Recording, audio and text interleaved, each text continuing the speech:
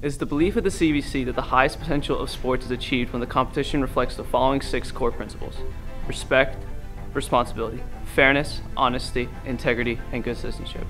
CVC members, school student athletes, coaches, and staff shall conduct themselves in appropriate manner in connection with all sporting events in which they participate. They shall conduct themselves as positive role models and represent their respective schools in a manner that exhibits the principles of sportsmanship.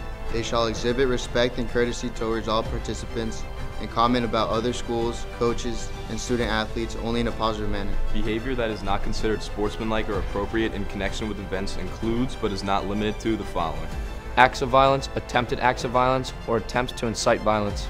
Obscene, profane, demeaning, or unduly provocative language, gestures, or actions directed towards an opposing team, school, contest official, staff member, or spectator.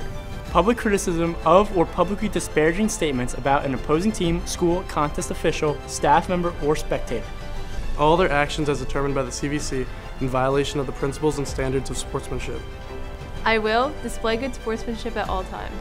I will be polite and respectful to those around me. I will immediately notify the event security if I witness any illegal activity for everyone's safety. I will sit in the assigned seating that is directly behind or across from the team bench I am cheering for. I will not harass the officials, coaches, or participants.